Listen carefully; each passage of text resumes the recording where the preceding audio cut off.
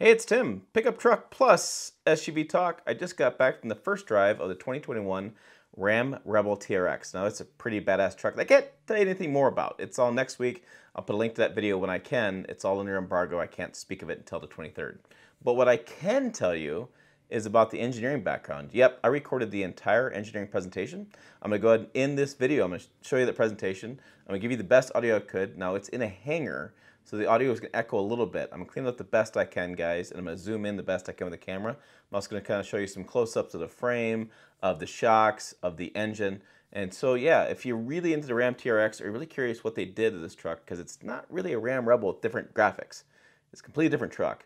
Sit back, pop a top, get some popcorn, relax, because it's going to be a long video, but it's going to be well worth it if you're into this kind of deep dive engineering stuff. And ahoy, if you are into this type of videos, hit subscribe, stick around. A lot of good stuff on the channel, and I hope you enjoy it. So let's go ahead and get to the video right now.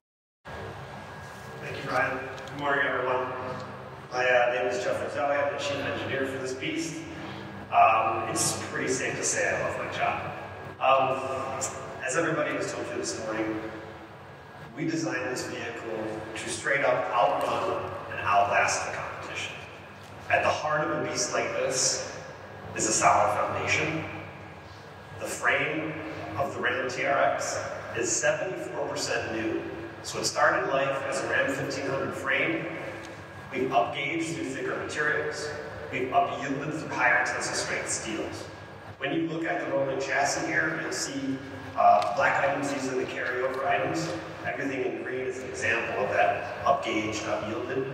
And the items in blue are all new for the TRX. I'd like to call out specifically items like this front shock tower. Um, massive, it is the thickest steel we could get in here and actually still stand.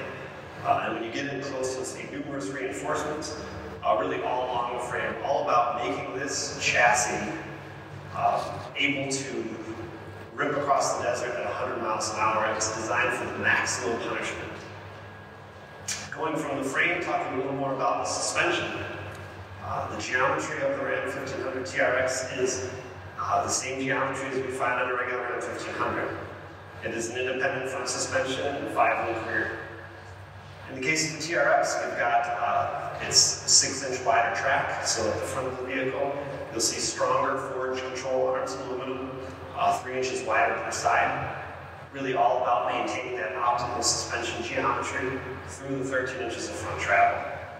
At the rear of the vehicle, uh, you'll find lengthened steel control arms, a solid forged rear track bar, again for that punishing duty cycle, and uh, really one of our engineering trophies, and it's kind of funny to hear engineers get all excited about spring. But that rear spring, uh, through this massive 14-inch rear travel, is a huge, we call it a beehive, but essentially the tire envelope. And it's packaged hard against the carryover box inner right? It's important. This is a pickup truck. Cargo is, is a significant contributor. Um, so we had to package this very large travel and diameter coil within that. What you'll see on this TRX is the largest, tallest production coil spring in the world. We had to scour the earth to find a supplier who could actually make us something like this. And again, it's funny to you know, think of the spring as a trophy, but for all of us, it's like a source of pride that we managed to design and develop that. Uh, where the rubber, I'm sorry, so to control all of this suspension, we have the Bilstein Blackhawk E-squared damper system. These are fully active. We have actuation of both the compression and the rebound side of the dampers. Very massive, robust units. They're actually capable. They can adjust anywhere from 22 pounds to one ton per quarter. So massive forces to help us deal with not only the loads of when you're driving, you know, at max attack through the mountains today, but also when you'll be jumping on the track if you so choose to, to go out on the track today. Uh, we control it through our proprietary Renault active terrain dynamic system. Look at there is a ride height position sensor at each corner, and there's three accelerometers on the frame. We know exactly where the tire is in travel at all times, and we know exactly what the platform is doing, whether it's heaving, whether it's pitching, whether it's rolling. We can adjust the damper seconds, one milliseconds, to counteract that behavior. Um, as Ryan talked about, within the drive modes, you can choose different modes. We've got auto, which we believe to be the, you know, the, the all-around best compromise for all the features. But we have sport. In sport mode, we'll firm up the dampers. You'll feel that out on the road. Uh, then in Baja, we actually free them up. So we allow a lot of free travel at what I'll call the normal few inches of ride height. As you get to those extreme ends of travel, we firm them up to catch the vehicle on very aggressive maneuvers. Uh, in auto mode, obviously, we, we do a more specific job of controlling, again, at that normal ride height that you find in the alpha mode. Uh, again, that suspension really works together to give an unmatched level of plushness and control. We built this truck to laugh off jumps that broke our competition. And that is a big deal for us, and it's going to be a big deal for you today. Uh, where the rubber meets the road, all new Goodyear Wrangler Territory all-terrain, developed specifically for this truck to meet not only our needs in the snow, in sand, uh, while rock crawling at lower tire pressures, but also the segment busting, busting 118 mile per hour top speed. There is no all-terrain tire rated for this kind of speed. And you'll see that the truck can very quickly get to that speed as well, so also very important for us. And I'll even give Mr. Gillum a shout out. This sidewall, he terrorized the poor guys from Goodyear to get this very aggressive yet functional sidewall. So again, as you look at it throughout the day, I'll give Mr. Gillum some credit on that one since he gave us some credit from an engineering standpoint. All this fun is stopped by a 14.9 millimeter inverted front hat, uh, rotors with a twin piston monoblock caliper, and at the rear 14.1. Uh, biggest brakes in the segment, and also pretty much the biggest can jam inside those wheels. They are an 18 by 9 inch wheel, as Mike talked about. On the red truck, you'll see our standard wheel, and on this, our bead-lock tunable wheel. You would remove this ring, pull the bead out, and then through Mopar, there is the bead-lock ring. Uh, it basically has twice as many fasteners to really grip that tire onto the vehicle. As with anything, right, I, I talked to Michelle, we had a solid foundation. Uh, we're very, very proud of this vehicle. Uh, but, but really at the heart, the true heart of the beast is the powertrain. So with that, I'll hand it over to Dan Stagner, and he will walk you through the powertrain for the Thank you, Jeff. Again, my name is Dan Stagner. I'm the Vehicle Integration Manager for this program. Um, all the other presenters got to tell you that uh, preview the heart of the beast. I get to introduce you to this beast. So this is the same 6.2 supercharged Hemi you'll find in other SRT products. Um, but with the character and the mission of the TRX, we had to make some adjustments. So we moved the alternator above our water floating line of 32 inches, uh, 7.9 liter uh, deep sump oil pan with baffles and uh, you know the volume to uh, ensure performance on rough road, high lateral Gs, and even a 60% downslope.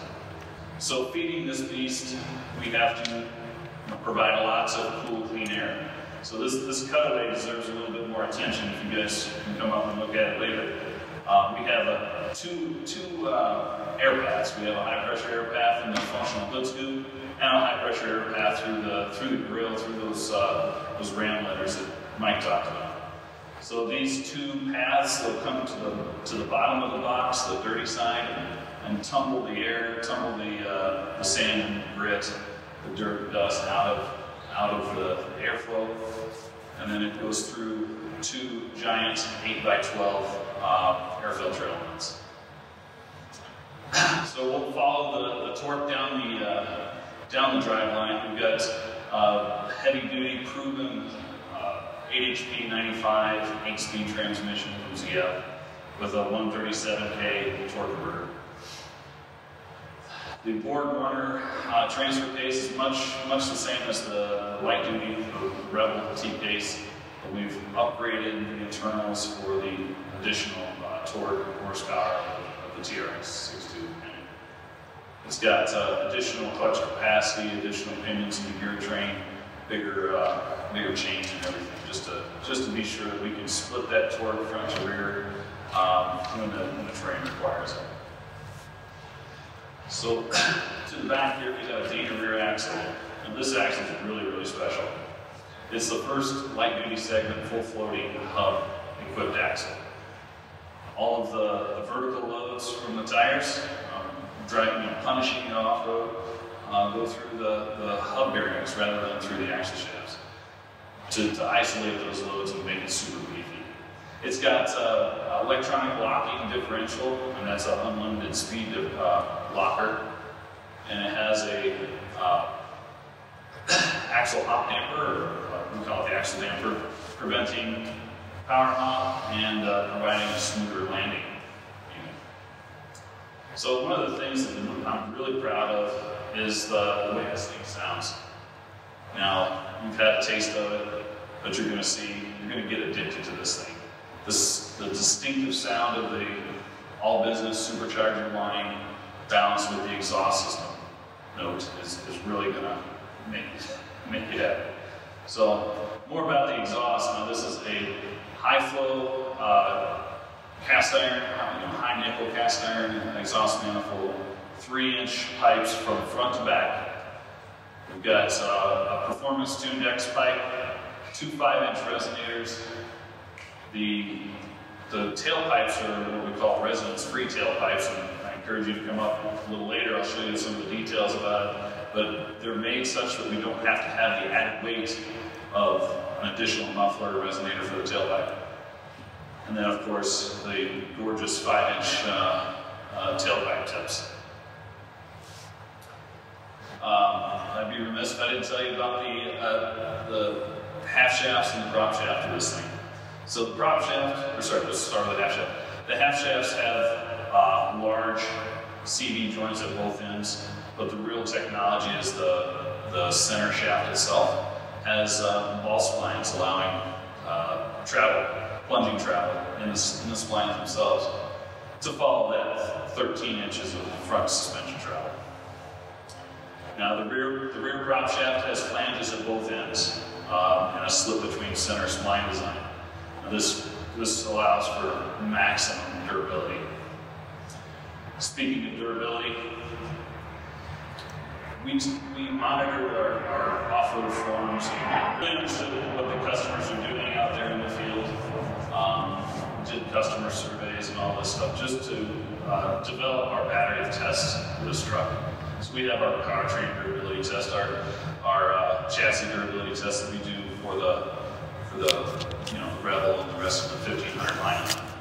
But we added thousands of miles of off-road, high-speed off-road desert durability testing um, at our proving grounds in, the, uh, the, in our Arizona proving grounds. Additionally, we took a page out of the SRT playbook and put our best drivers, our SRT engineers and, and best drivers, drivers in the company, and tortured the truck through a thousand miles of desert high speed running. So this is our endurance test. This is pushing the truck as far as it can go. We didn't find the limits of the TRX, but we found the limits of our engineers. So now you know kind of what the TRX is. It's a very exciting vehicle. You're gonna love driving and you're gonna get addicted to it. You're not gonna want to give us the keys back. Um, so I'm gonna reinforce uh, Ryan's discussion on drive modes. Now on the way uh, on your drive today, you know, push the buttons. Hit the TRX button, select your drive mode, auto or sport. Um, you'll get a chance to experience the controllability of, of rock mode. Uh, this afternoon we got a rock crawl that's you're gonna love. Um, and then my favorite, of course, is Baja mode, where you'll uh, experience the high-speed tuning and really the capability of this beast. Um, and not to mention, we have a uh, eighth mile uh, gravel drag strip set up, so you punch the truck, get the launch control experience, and just unleash the beast. So. There you go. There's my deep dive on the Ram Rebel, or their deep dive, I should say, on the Ram Rebel TRX. So you have all the information on Ram Rebel TRX if you're out there shopping for it. Check out this other video over here of cool stuff, of different engineering stuff I've done in years past. Like I said, a lot of good stuff on this channel about deep dive engineering. So I hope you subscribe, stick around. Uh, your subscription really does make this stuff happen. Also, website down below. And as always, thanks for watching. I'll see you down the road.